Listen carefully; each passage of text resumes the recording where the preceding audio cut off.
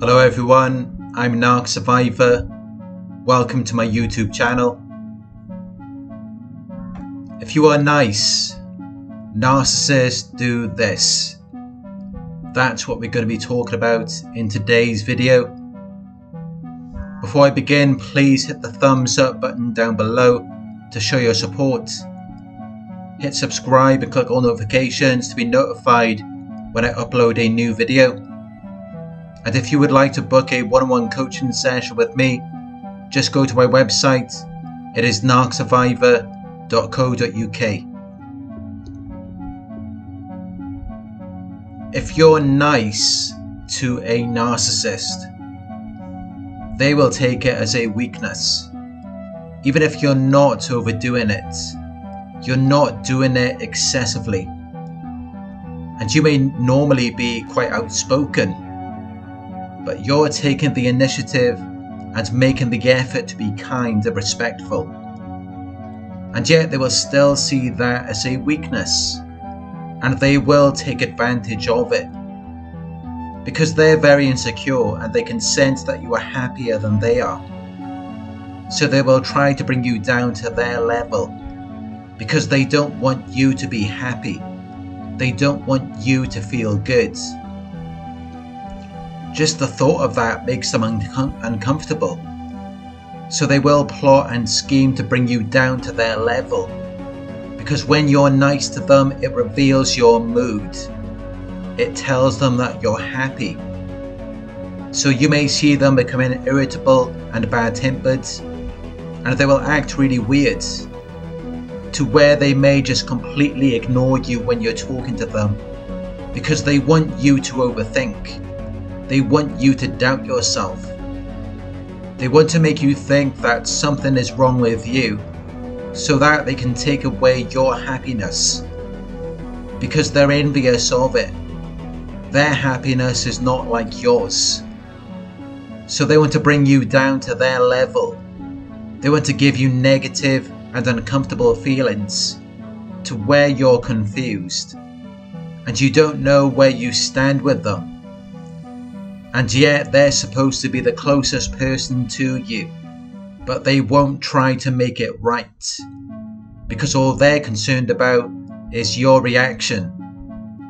They want to see if what they're doing is affecting you.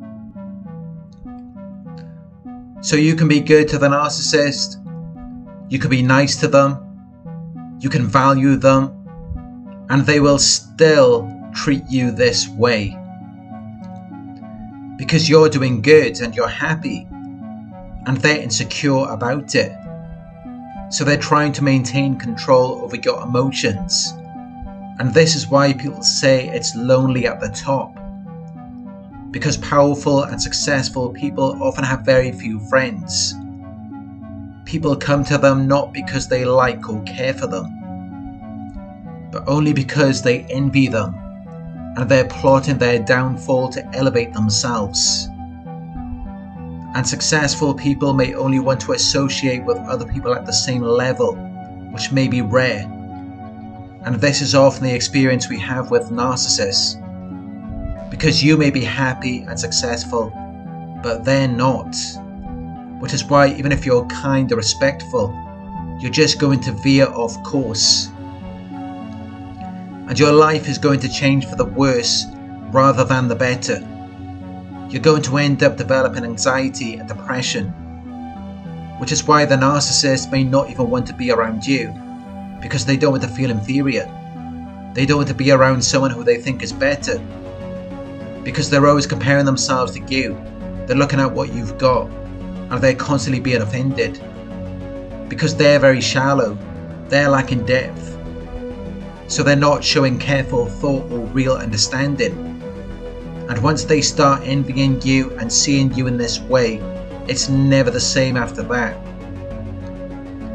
Because they can't even stand to see you in a good mood. So they've got to go against your natural flow. They've got to take you off your path and make you believe in things that aren't even true so that they can control you because they're very insecure. They want to imprison you because they've imprisoned themselves. So they don't want you to have a good time. Because then you're going to be in a lively and cheerful mood. But they're not going to be able to share that experience with you. So they're going to see it as though you're happier than them. And then they're going to feel compelled to do something to you to ruin your mood. And they might do that by ignoring you or by ending the relationship with you. Or they may just go on a campaign to ruin your life. Because your energy, confidence, charm, and charisma is irritating them. Because they don't have that. When the irony is that they actually might have it if they spent more time around you. But they're so annoyed and resentful, they take it as an insult or an attack because they can't be on your level. So they just fall off. They ghost you. They disappear. They give up easily because they don't have the courage or determination to continue. They accept their fate and they continue to be miserable. But misery loves company. So when they see that you're doing well and you're having a good time, they have to bring you down. They've got to ruin your life. They've got to do something because they're miserable 24 7. So they will treat you unfairly because they already see it as though you have the upper hand, which is why they won't even feel bad about going behind your back and mistreating or deceiving you. Because if you were face to face with them, they would immediately fall apart. They would become weaker in strength and influence which is why they don't even want to talk. Because they're negative, so they don't want anything real. Which is crazy. Because if they would just listen to you, they would get better. But they can't because they have this inflated sense of pride and ego, so they just fall off. Or they want to be against you. Because they're incapable of sharing the same mindset. They lack the energy and the passion they lack the eagerness to succeed. Because we're just different. And if that was not true, then where are they now? They're not with you. Because that side of them doesn't even exist. It doesn't interest them.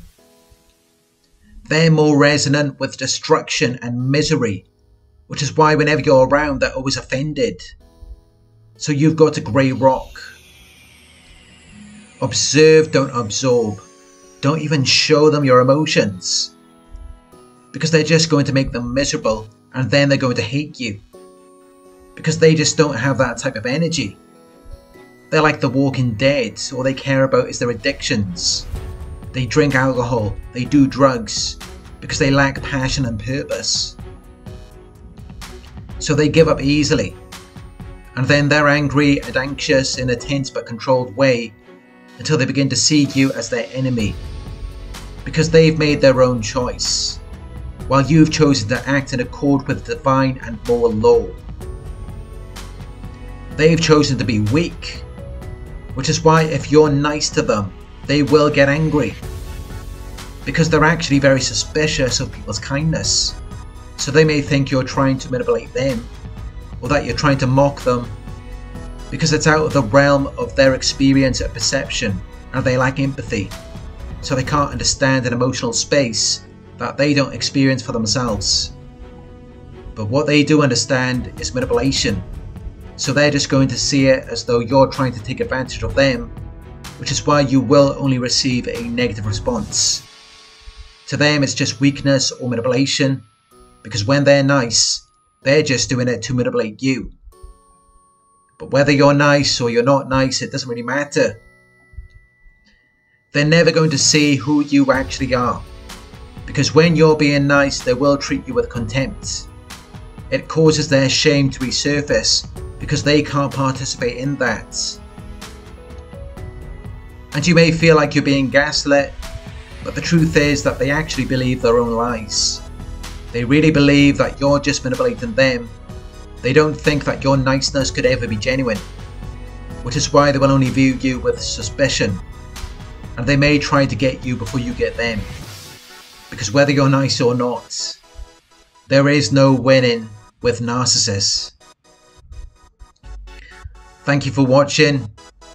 If you found this video helpful, please give it a thumbs up. Share your thoughts in the comment section. Hit the subscribe button to receive the notifications. If you would like to support the channel, you can donate at paypal.me slash narcsurvivor. You could book a one-on-one with me on my website. It's narcsurvivor.co.uk. Thank you for watching and I'll talk to you soon.